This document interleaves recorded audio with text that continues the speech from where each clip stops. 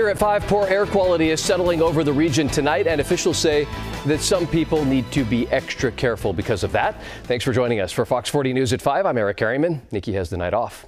The air quality index is, quote, unhealthy for sensitive groups tonight, uh, a range that uh, that stagnant weather means trapping pollution is close to the ground. We're going to have live team coverage with Chief Meteorologist uh, Adam Epstein tracking those weather conditions that caused it. But first, we'll get a check in with Fox 40's Cedric Hood uh, with more on what's causing it specifically, and Cedric, how we can all protect ourselves from it.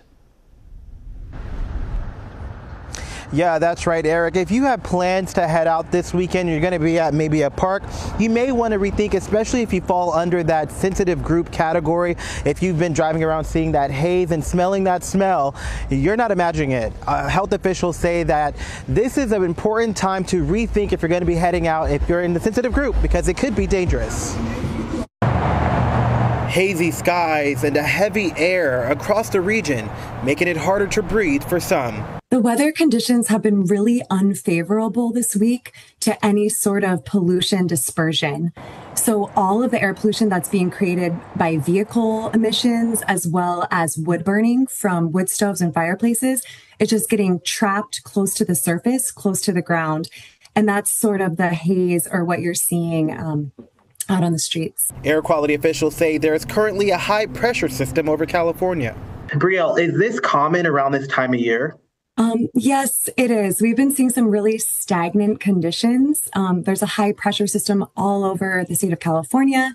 And it's just continued bad mixing conditions that is allowing the pollution to build up. Sacramento County confirms stage one burn restrictions are in effect through at least the weekend. That means it is illegal to burn wood unless you're using an EPA certified fireplace, wood stove, or pellet device, and only if it does not produce smoke. It's just really good to be mindful of um, the air quality index. You know, right now it's saying that it's moderate.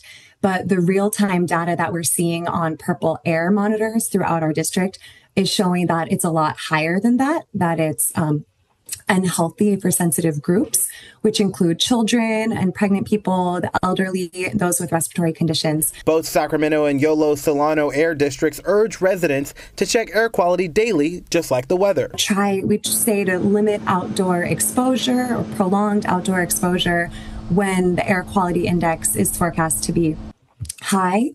Um, and we also recommend people just uh, take it at their own pace. If they realize or feel like the air quality is impact that, impacting them, like shortness of breath or any trouble breathing, you know, they should really go inside and try to shut windows and doors and run an air purifier.